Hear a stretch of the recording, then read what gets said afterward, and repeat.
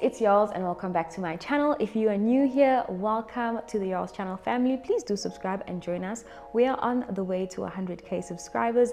Today, I want to touch on something that a lot of people are already talking about. Very much in the beginning of the year, we want to lose weight and we also want to start setting goals, especially financial goals. However, I do believe that the realities of our circumstances do matter and they do play a huge role in how we go about achieving our goals.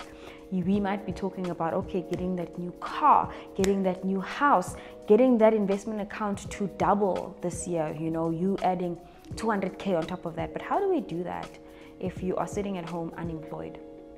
How do you achieve financial goals if you have just been laid off or you've got one job, marama debit orders angalana? You know, you're thinking of a second job, but how do I go about that? What if my goal is just to literally get by this year? How do I attach a financial goal to that?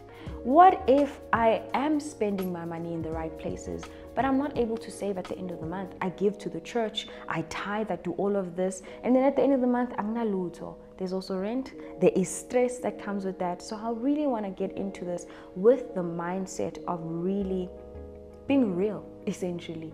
Having the realities that face us. Ama debit orders? Ayas amile ngoku? It's january but at the end of the day it doesn't mean that we cannot achieve our financial goals but how do we go about that let's get straight into that if you do enjoy this kind of content definitely give this video a massive thumbs up comment down below and let me know what your financial goals look like this year where you at in life because at the end of the day those things do count when it comes to imali, you know? And of course, if you haven't already, do click that subscribe button. It is absolutely free.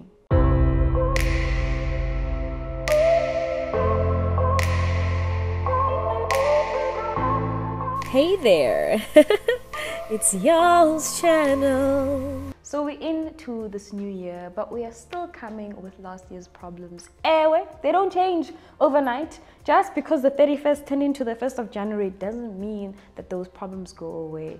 How do I make this a different money year? How do I make sure that this year I actually achieve and tick off certain things that require inyugu? How do I do that? I don't have. Where do I start? What do you have? I always say, you've got your mind. The biggest thing for me that changed my life was the way in which I started seeing money. I always saw money as this thing that allows you to do and achieve so many other things. I thought you need money to achieve your goals, but you need your mind first to actually achieve your goals. What is your mentality? What is your relationship with money? Do you think money has power?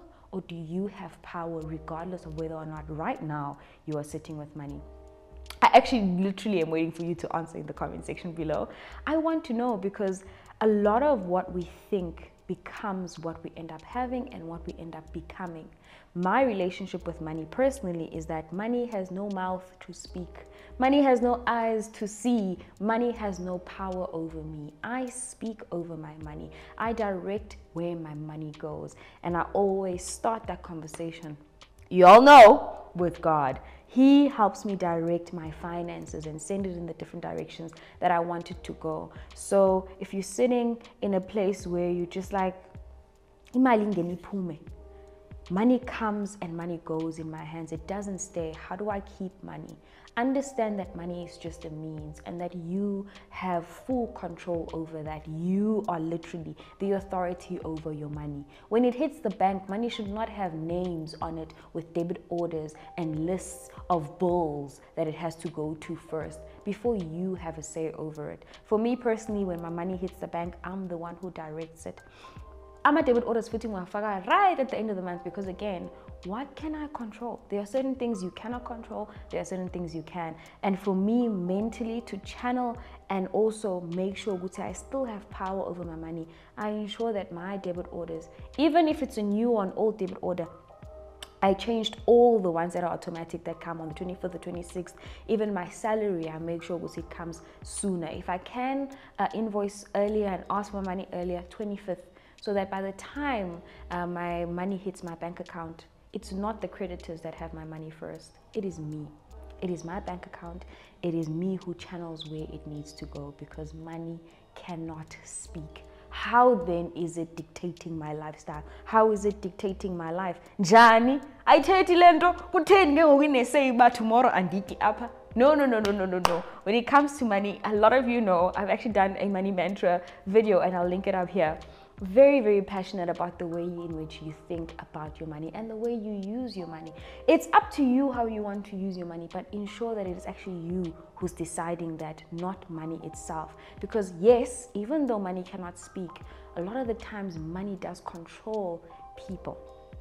People make that the idol. You make that what has control over you, where you go, who you hang out with, and how you are perceived. For me, it's the opposite. I take lento, so it cannot, it certainly cannot dictate where I sit, where I go, where I eat, and what I do. So that is the biggest thing. The other thing is I grew up in poverty, so I really needed to learn Uguti. How do I ensure that every single thing that comes in, I retain as much of it as possible? And I had to again change that mindset, Uguti. Just see this thing as just another paper.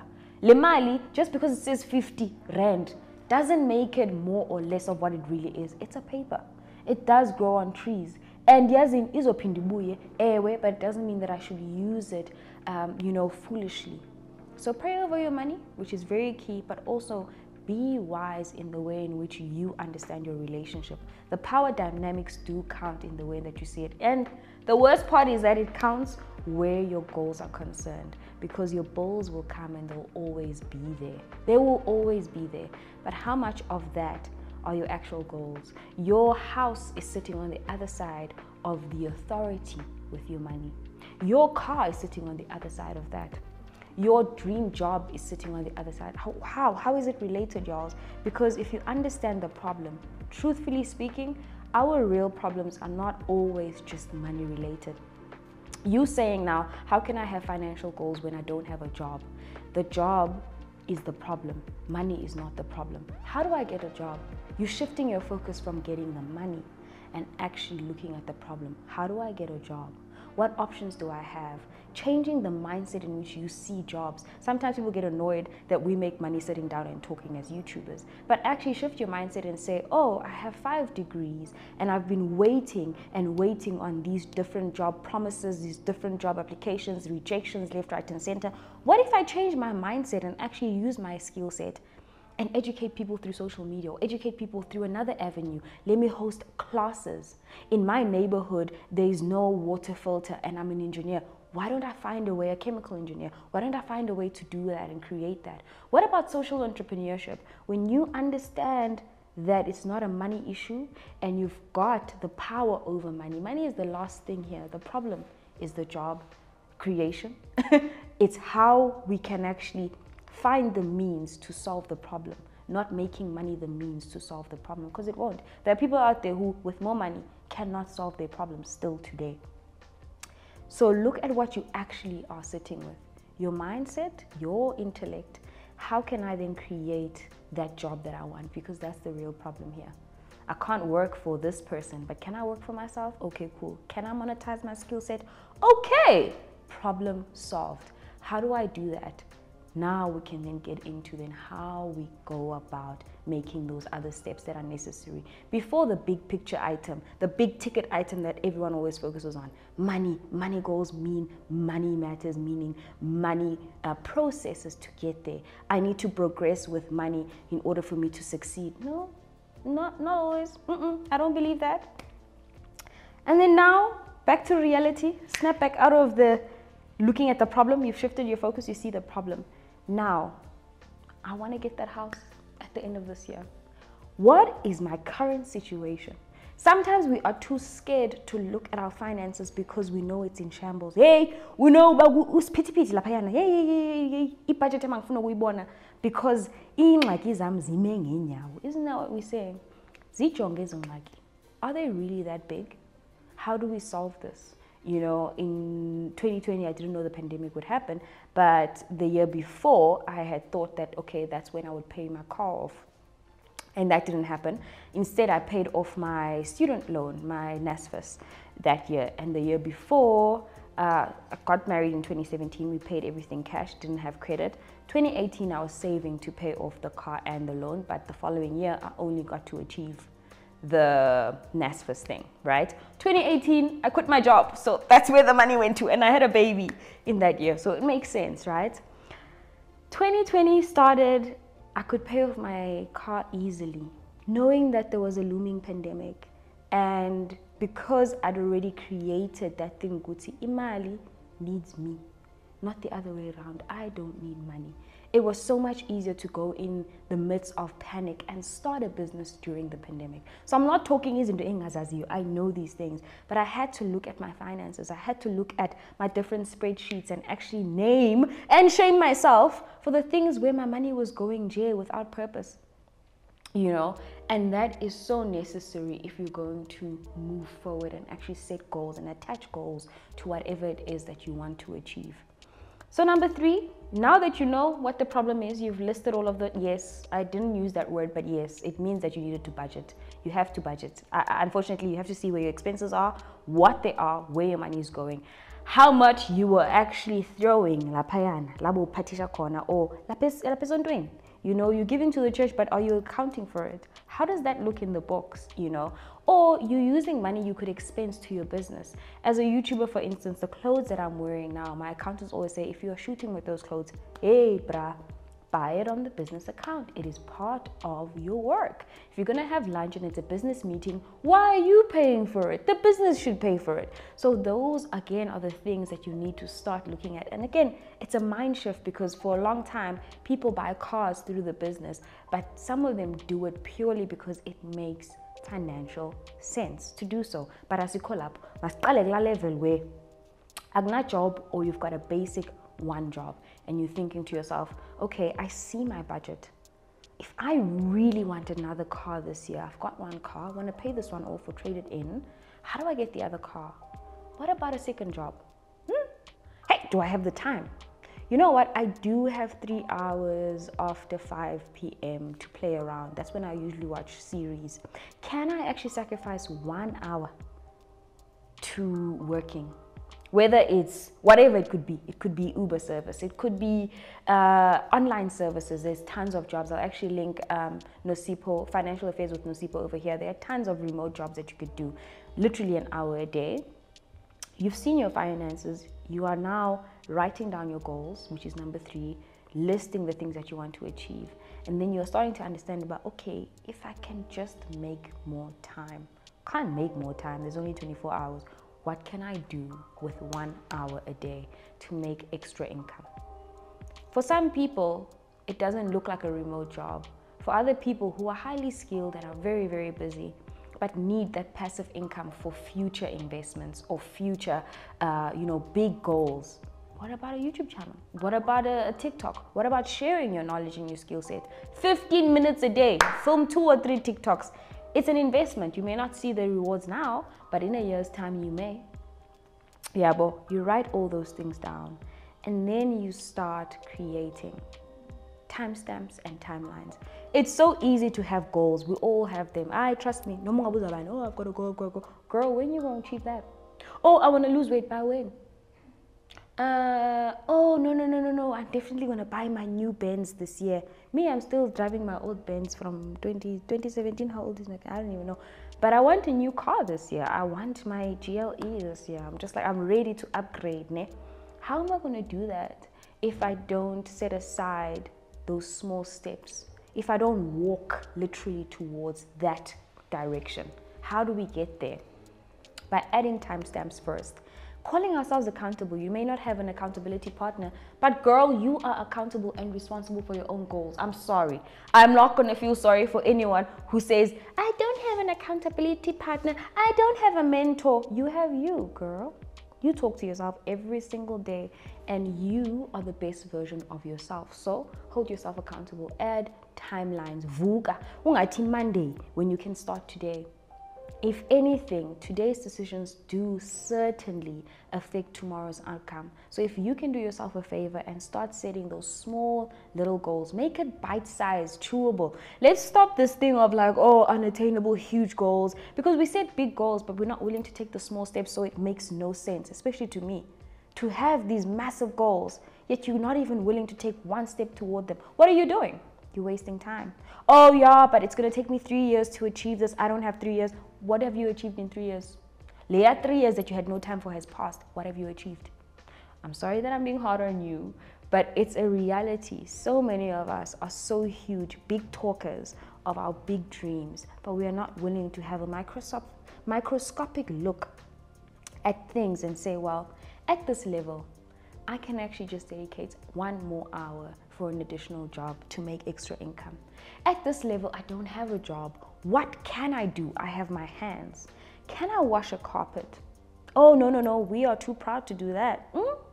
Can I make calls? Can I work on a call like call center? Now that you know what you can do, we've prayed for wisdom as well. How are we going to achieve that? By putting a timestamp in three months, this is what I'm going to achieve. With marriage, it's so much easier for people to plan weddings because the date is there. Isn't that why it's easy? Yes, that's exactly why it's easy. The 15th of September, you're getting married. So you are working towards something like that. Why is it with big celebrations we are able to achieve literally huge numbers? People have weddings with half a million rand, yet they don't even earn half a million rand a year themselves. But they're going to achieve that. They're going to make a way and find a way. What about our dreams? Our dreams deserve that.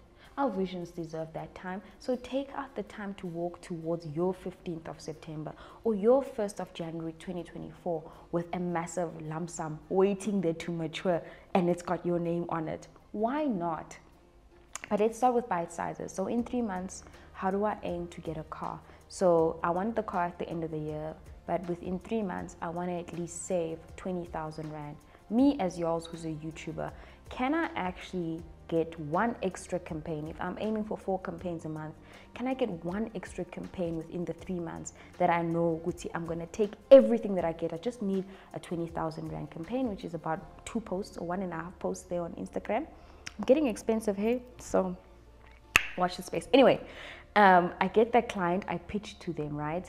I've set the timelines. I know it's March, but it does not benefit me if I actually don't take the steps towards setting up the proposal and actually pitching to client long before March comes because I know that is the timestamp, that is the goalpost, that is why we set goals. So now that we've added our timelines, every single day, y'all, what are you doing to work towards that? I want that big client. I've now pitched to uh, McCain, to ShopRite. I've now uh, also pitched to Revlon, and none of them have responded in two weeks. Again, who's the accountability partner? Me. I follow up and I figure out who else I can actually pitch to.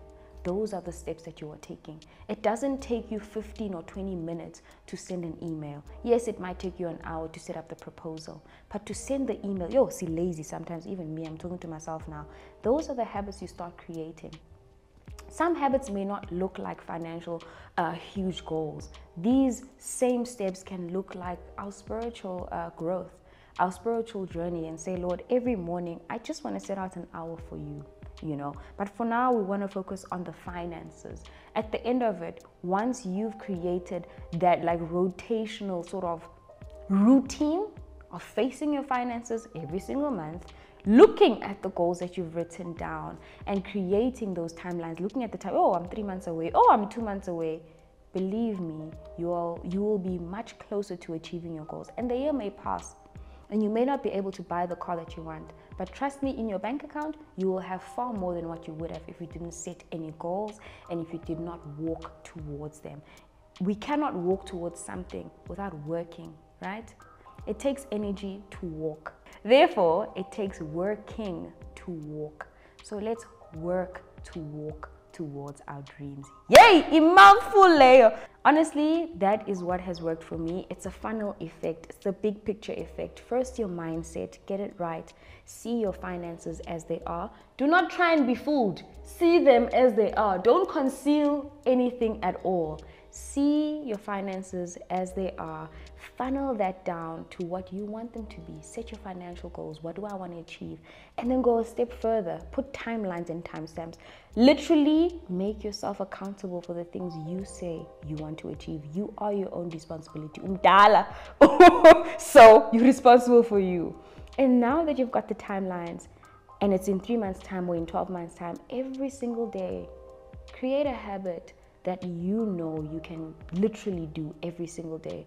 that's going to be working towards walking towards what you want to achieve. Literally create small steps to achieving your big dream. Start small, dream big. There is no problem in doing that.